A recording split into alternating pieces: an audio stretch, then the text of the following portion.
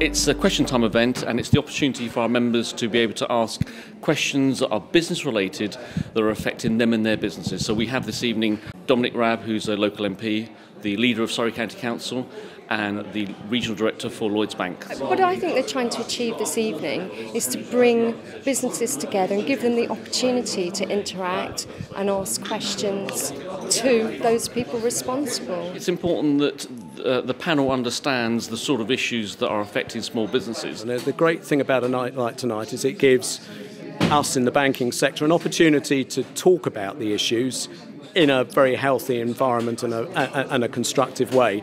Dominic Raab is a local MP and uh, for Walton and Esher, and he is very keen on small business issues. There's a huge number of lobbying groups. It's a very competitive field, but if they get their pitch right, if there's good empirical work that they're doing, if they set up a forum like this where you get some really meaningful uh, feedback rather than just lobbying for some hobby horse, I think it's really valuable.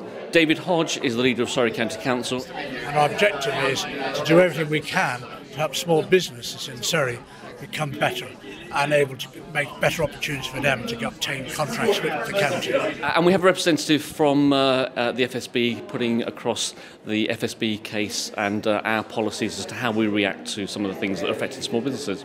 In the light of the banks still not lending or offering unaffordable terms to small businesses, should there be an alternative government backed business development bank set up? We are uh, in the throes of waiting for the funding for lending scheme to take shape. But we will be key participators in that. So overall, if you look at the volume of lending and the pricing that we're putting lending out at, yes, we're under pressure because the cost of lending has gone up. You know, I would contend that yes, of course, if you're looking for a small unsecured uh, loan facility, that is a newly founded business, you will not expect to borrow at four over base. And well, there the rates may well move to, you know, to a, a, a eight to 10 over base. But fundamentally, I would say, one, yes, lending facilities are there. Two, the risk climate has changed. Uh, but three, notwithstanding that, we are lending. And I suppose the real question is, do most businesses actually want loans or do they want working capital?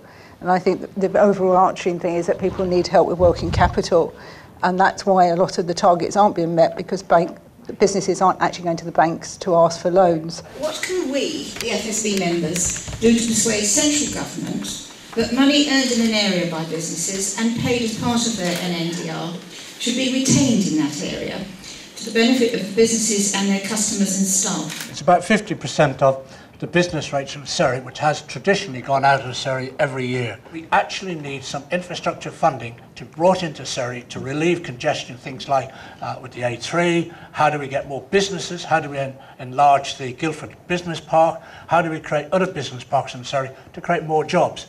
What we need to try and do in Surrey is stop people travelling out of Surrey, getting into cars to travel to businesses. It's getting jobs locally and actually building our SME base because that really is going to be the long-term future. I think you have to be constantly giving them feedback in order that they can maybe try and help some of the issues that are affecting small businesses.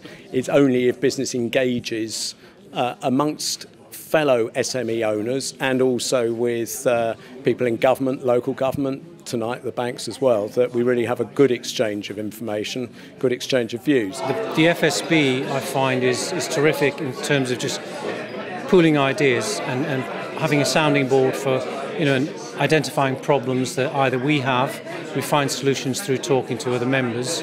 Indirectly, it's been great for my business because I know they're representing the issues that I'm struggling with on a day-to-day basis and those of my customers. If you really want to um, find the the, the solutions to the problems you have, particularly in a recession, um, you're going to find them in the FSB. We all share our worries and uh, our aspirations. We do understand that businesses, when they come together, create greater opportunities. I've uh, actually had some fantastic opportunities from coming.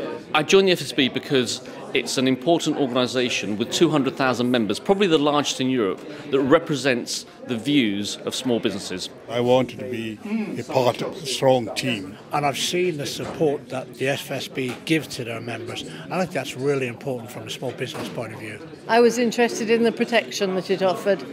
For instance, if I were to um, have a tax inspection, I don't want to stop doing my business while I sort out all that. Even if it's just for the for the fact that they got free legal advice if and when they needed it, a phone call away, even if it was only for that. FSB on the whole was started by business people for the business people. Uh, There's a huge difference in the quality of the different lobby groups around. I, for me, I think the FSB is one of the best. I absolutely believe all small business should actually join the FSB or a similar organisation. It's very affordable for a small business. Every small business should join the FSB actually, give it um, a bit more power. Because the louder our voice, the more say we have at where it counts at government level. I really recommend joining.